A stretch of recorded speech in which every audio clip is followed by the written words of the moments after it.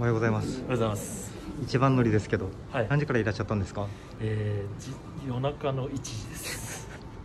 それは朝じゃなくて夜ですね。夜ですね。はい。飯田さんの魅力ってどんなところですか？やっぱりどんな人にも優しいってことですね。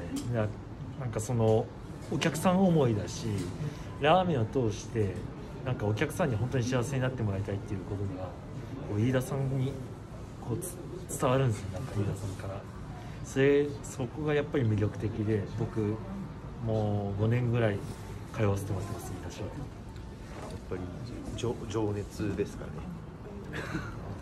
いやもう生き様ですかねシャキってなるというか、なんていうの食べると本当にこう心が洗われる感じがするところがすごく好きですね。はい。佐野弥勒さんを尊敬してちゃんと、はい、で自分のちゃんとやることもやられて、はい、それを両立されてるところが素晴らしいなと思います。ラーメンに対するあの情熱が素晴らしいと思ってます。やっぱりこだわりとお客様に対する熱意ですかね。やっぱりそこに打たれて好きですね。大好きです。朝早くからありがとうございますありがとうございます。